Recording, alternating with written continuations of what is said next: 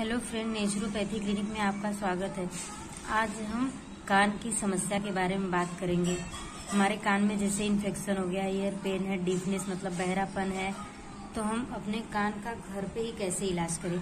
वो acupressure therapy होती है। इसे किसी कुंद चीज़ से, ये हमारे ईयर का कॉरस्पॉन्डेंस है। ये थम्ब है यहाँ पे।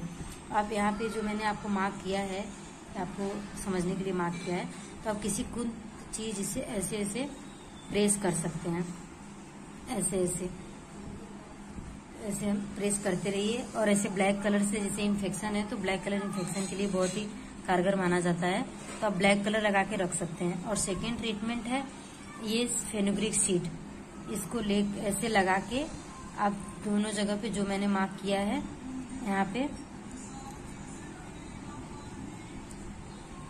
ऐसे लगा के रखिए। ऐसे।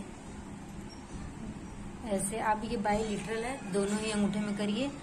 हाथ और पैरों के भी अंगूठे में करिए, आपको बहुत जल्द ही राहत मिल जाएगा।